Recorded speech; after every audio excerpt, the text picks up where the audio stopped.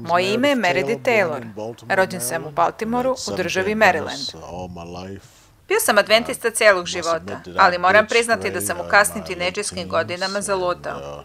Ipak, gospod me doveo natrag u kasnim dvadesetim i sve od tada osjećam teret za spasenje duša.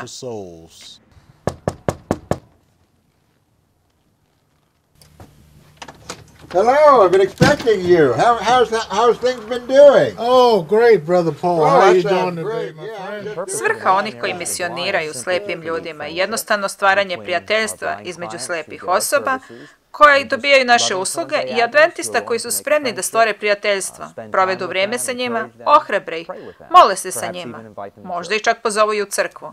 Meredith je izvanredan pojedinac. On je dobio ime od predivne osobe, upravo u centru Baltimora, od Pavla. Pavlo uvijek ima nešto da mi kaže o raznim funkcijama i stvarima s kojima se sreću u svom životu sa slijepima. A onda zajedno ulazimo u neku biblijsku diskusiju. Nakon toga imamo muzičku tačku sa njegovim saksofonom, a na kraju se molimo. I to je to.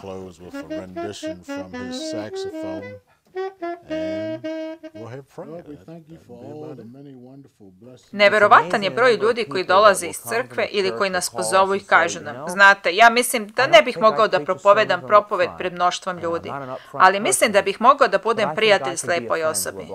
Oni jednostavno žele da se uključu u ovaj program. Također, mnogi laici jednostavno žele da rade divan posao povezivanja sa slijepim prijateljima.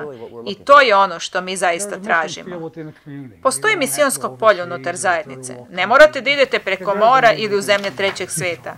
Postoji potreba unutar zajednice u kojoj se vi nalazite, a biti misionar među slijepim ljudima je jedan od načina za svedočenje. Znam da Davidu treba prijatelj, ja sam to osjetio od samog početka. Postoji prijateljstvo i zajedništvo i to je blagoslov koji nikada nećete zaboraviti. Moj san za službu slijepima je imati nekog u svakoj crkvi u Severnoj Americi koji bi se pridružio ovoj službi i koji bi želio da posjeti slijepu osobu. Slijepe osobe bi bar morale da znaju da postoji crkva u gradu. Crkva koja želi da zadovolji njihove potrebe. Mjesto gdje bi se oni osjećali dobrodošlima.